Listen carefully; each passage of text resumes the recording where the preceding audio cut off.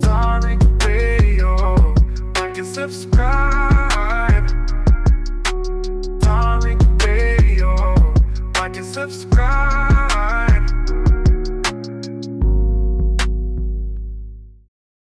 Now, Mary, what's up, Mary? How are you doing, Tariq? What's on your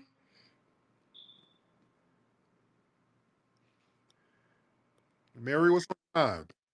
Okay, you're you're going in and out. I can barely hear you, Tariq. How are you doing? I'm good. Mind, dear. Okay, well, hi everybody. God bless everybody here. So, I'm gonna keep it short.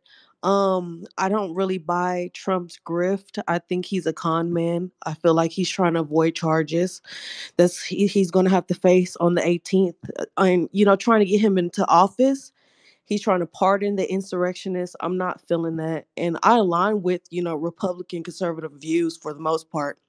I'm, I just don't see him the TV reality show grifter con man um I'm not buying it and I never did really but for the most part I understand people not feeling Kamala all the way I didn't trust her either but Tim Walz I did live in Minnesota for a little bit he's an awesome governor I'm talking about dude is fucking X game mode on machinery it's not a single manufacturing facility in Minnesota he's not hands on in um there's snowstorms that we face every week in Minnesota. Never had the lights go off, right? You go back to Texas and Abbott and Ted Cruz has the lights going off for little tiny storms, category two storms.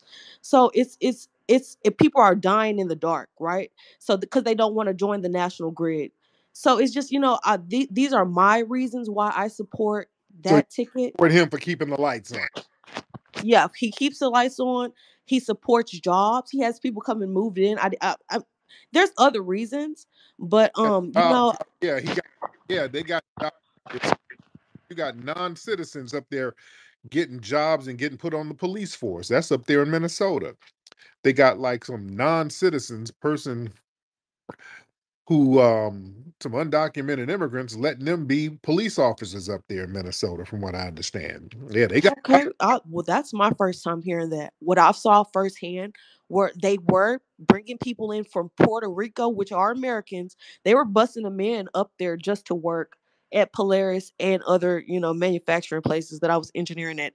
Um, they do that. They do that, and I support that option. I'm not even gonna lie. I'm not. That's not a big thing to me. Hold on, I, let me hold on. immigration is not my go or pro issue. A Hold on. lot of people feel strongly about it, though. Hold on, I got a Romo. He's a he's he's an Ethiopian, by the way. A Romo hop in.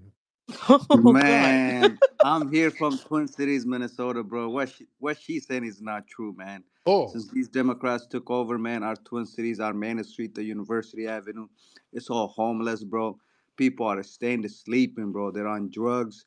Once the sun goes down at 6:30 p.m. here in Minnesota now, bro, the street is In the. Twin Cities, you said? Okay. Yes, So here, right let in me let Midway, me tell St. you what's going on around Roseau and Warroad in the local rural towns and you know the small towns that don't get a lot of attention. These people, I'm sorry what's going on in the city. I can't really speak for that, but the places that people forget, the ple- the places that, that are in the dark, they're getting these local people jobs. They're making sure they're housed. They don't pay electricity. One or two grocery stores in two cities, and people are taken care of. These are communities of people that that work their ass. You off telling me the government is taking care of the people?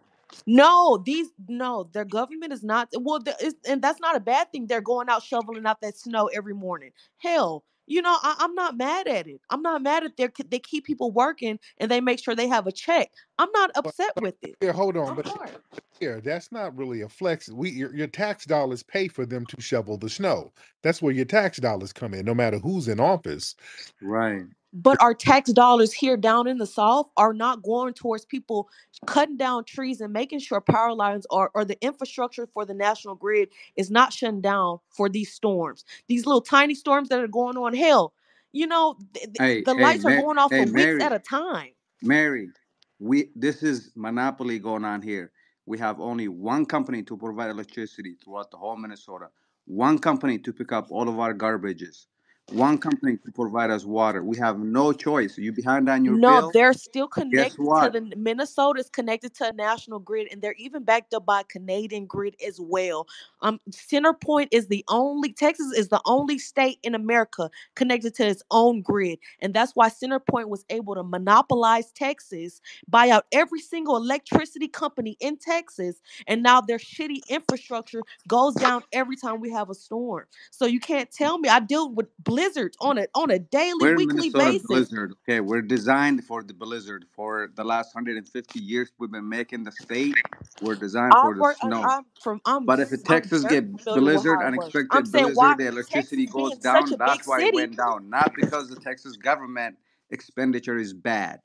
But I'm telling you, the Minnesota expenditure is very bad. Our schools are Oh, I can't. I'm not a We have witness to that. tampons in our Minnesota has school done boys nothing but it's a top five business state. For it's the top five business state. How in the Because world is it so because of the shitty? They natural up there. They're up there working their asses off. It's because of the natural resources. This is a terrible place to live, low key. But because of the natural resources, nobody wants to live here. They hype up the money so much to get people up in here from nice weather places to live.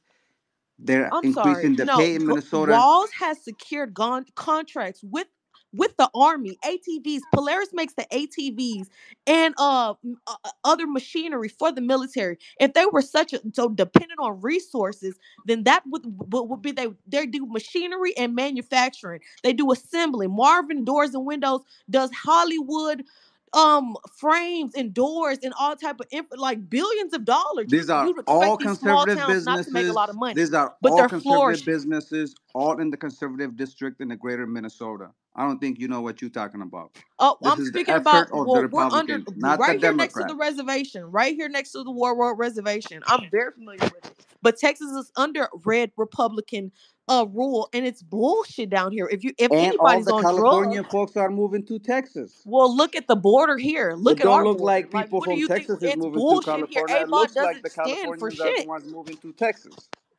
And the power grid you claiming about, it only happened one time. Unexpected weather happened No, oh my God! Please do. Oh my God! out in How Texas every day. That that? is not true. We have had several, not even freezes.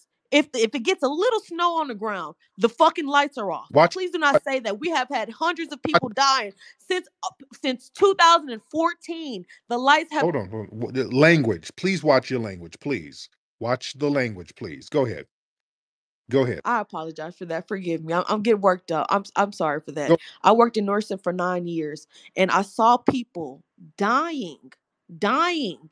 The hospitals they they uh, we see snow on a daily basis in Minnesota. Worst And, weather I've and ever seen in my life. explanation is, and your explanation is, the government didn't go liberal enough in Texas to do No, what they're not challenging. the buying out to Centerpoint. I can't respect that myself. I respect Republican. I have been Republican, but I no longer align with their morals. It's no longer aligned with mine. If you can't take initiative and you're leaving the country when the lights are off, you're going to fucking um excuse my language. You're going to Cancun when people are dying in your state. Unacceptable. Unacceptable. Walz has never did that. And he made sure everybody had their lights on with whatever storm was going on. So that's why I'm supporting their ticket. I'm sorry. Oh, Unbelievable. all right. Yeah, I can't do it. I can't do it. Texas is not taken seriously. Everybody talk, talking about you know stuff that doesn't even matter. People are dying under your watch in Texas. We have a problem with our border. You said Mexico was going to pay for that border. Y'all y'all did all of that hype, and they didn't pay a dime. So how are you feeling um, about you know the the border the, the the border crisis? How do you feel about that? Texas was Mexico before it was Texas. These people have been here before I was born. Now, anybody saying that they need to leave here, I'm not with that, and I really don't care about that. But I don't appreciate the uh, the influx of drugs, human trafficking, or whatever criminal activity the cartels are bringing. They're fleeing from that, but they're chopping off people's head. They just cut the mayor's head off and set it on a car. So I don't want to, you know, I don't. We don't want no smoke with them. But Mary, America did buy so much cocaine, Mary, Mary, Mary, I'm Mary, Mary, sorry. slow down.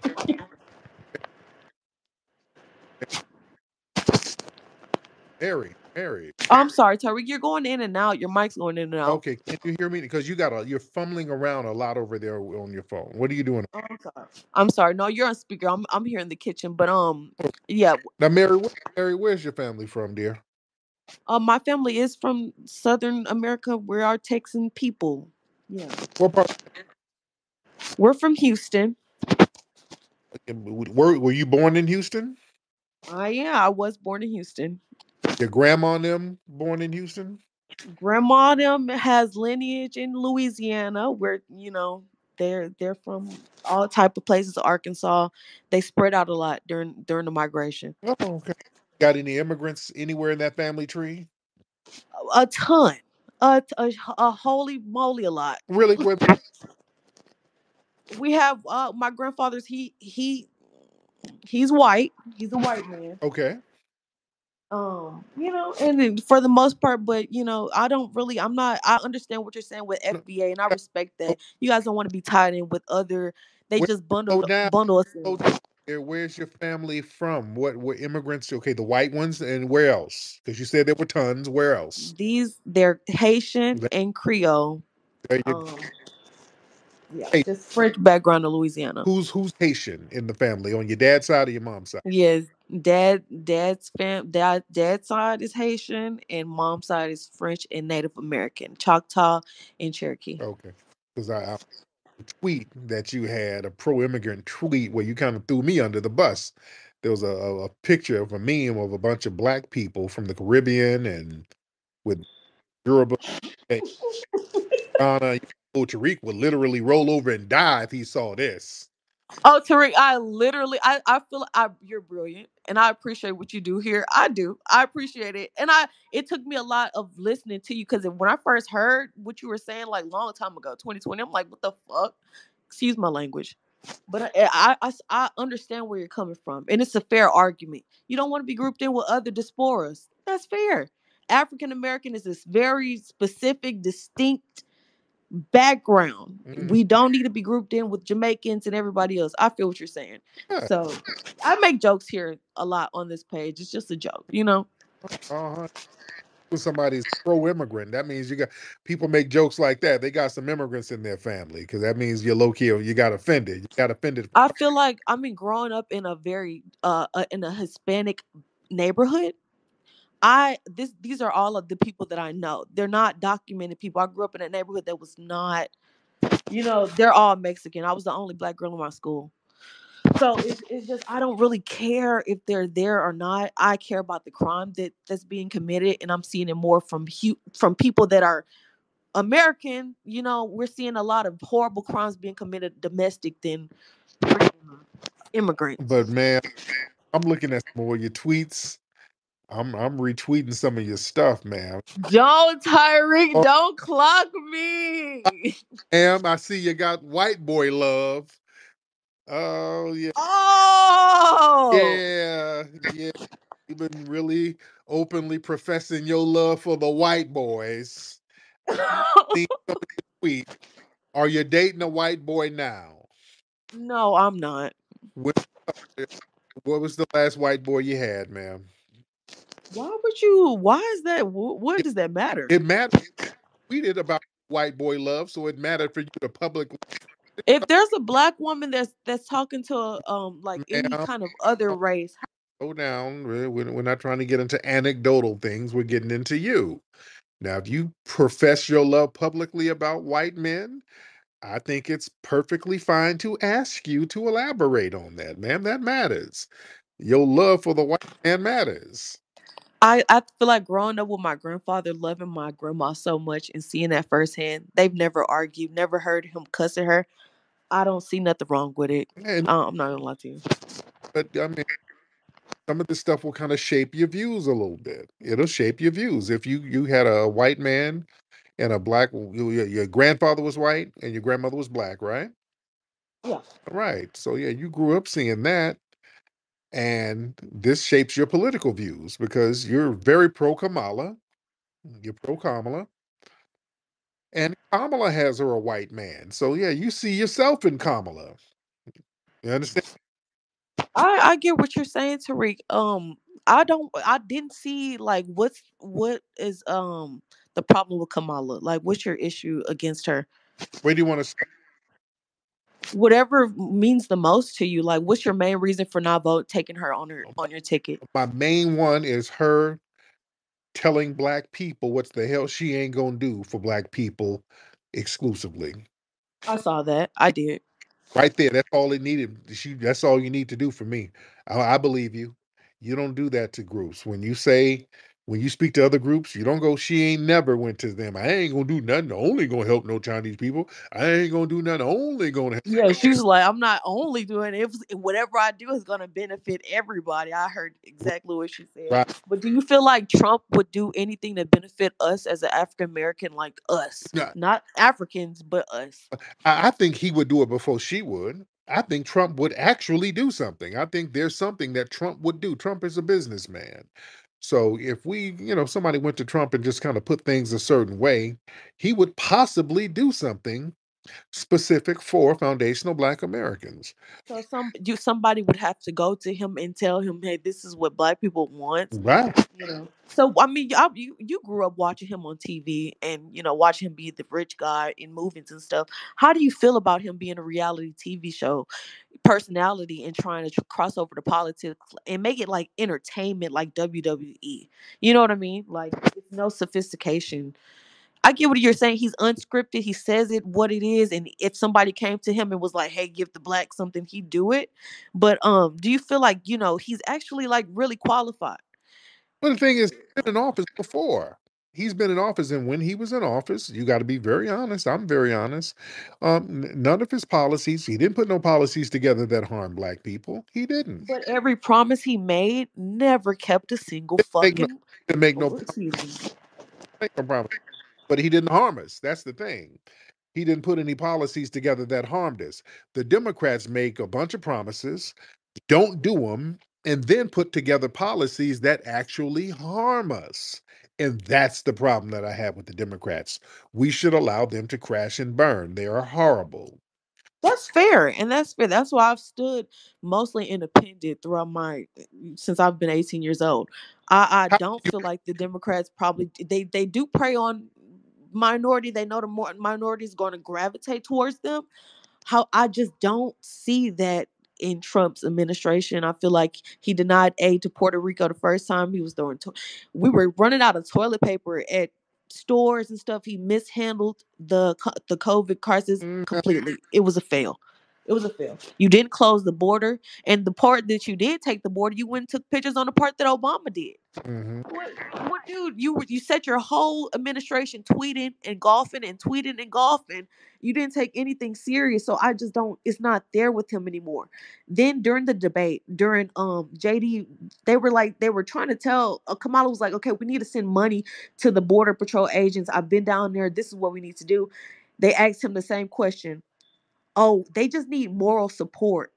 Dude, what are you talking about? We can't. What are they supposed to do with moral support? Oh, I don't feel like we should do anything. They just need moral support. That was the stupidest answer I've ever heard. And a lot of people didn't catch it.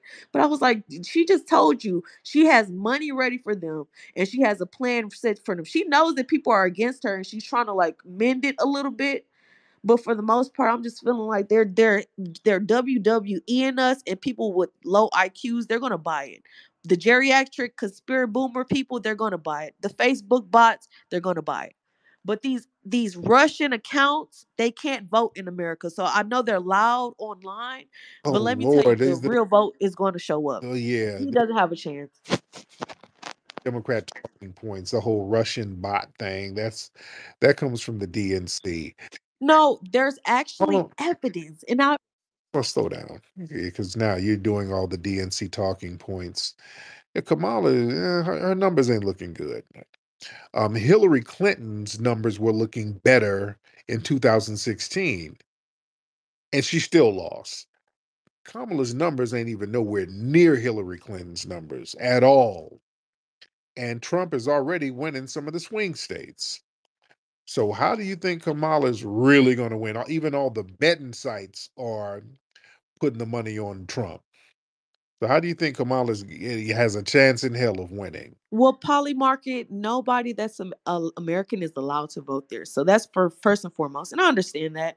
Um, I just don't really feel like he has a chance, and he has charges he has to face on the 18th. And he made a lot of promises to a lot of people that he's going to get him out of trouble for the stuff that he did during his first term. So I understand that he's trying to push. He doesn't care about America. I love this country. I'm not going to hold you. I love this. I think this is the best country on this planet, and I think we have the. Okay, so, oh Lord, you you're doing a lot of slogans. Al, let me get Al in here. Al, hop on, Al. Mary, you are sloganizing. Stop sloganizing. What was that? That's what Jim Clyburn said. Stop sloganizing. Sloganizing kills people. Yeah. Man, but yeah, you s- Mary is stomping hard. You're DNC shilling. All right, Al, what's up, Al? Okay, while we're waiting on Al, let's get Red back in here. Let's get Red back in here. Red, hop on in, Red. Let me have you chime in on Mary. Red, hop in.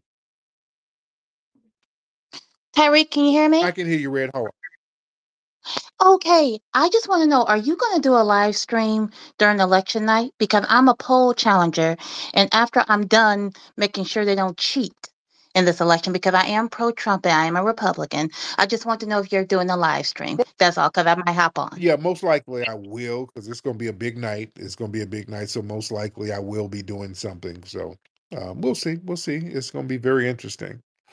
Oh man. Um. Okay, but thank you, Mary. Thank you, Mary.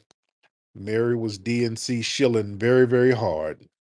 Shout out to everybody in here. We almost fifteen hundred deep in the middle of the night, ladies and gentlemen. Y'all raise your hand if you're ready to get on.